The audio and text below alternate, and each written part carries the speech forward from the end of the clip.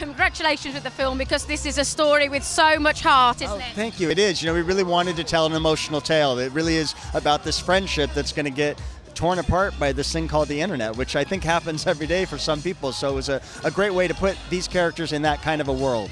And, and it's and it's also bringing it to a, a, a new generation. It's sort of kind of old versus new, isn't it, as well?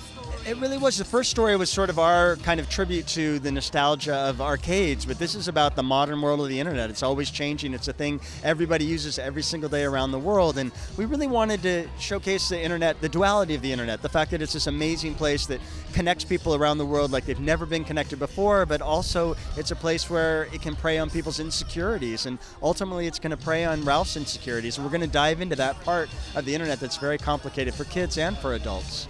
Absolutely. And of course, when we do enter into the world of the internet, there are so many kind of brands as an audience we will recognize. I'm thinking for a producer, clearance wise, that was a logistical nightmare. Well, you know what's interesting? We talked a lot about what do we want to have the internet look like? Should it be all made up brands? And we said, but that's not going to feel like what we use every single day. So we decided to do what we did with the first film. In the first film, we had games that people know, Pac Man and Street Fighter, but we also created games like Fix It Felix Jr. and Sugar Rush. So in this world, we have websites that we go to that we created. We go to BuzzTube, which is our own social media site. We go to a place called Slaughter Race, which is our own line, online racing game. We go to a place called Oh My Disney, which is sort of our own version of what Disney might look like in the internet. So we put that as our main parts of storytelling, and then put the backdrop of, a, of an internet that you know that has web, uh, brands from all around the world because it is the World Wide Web.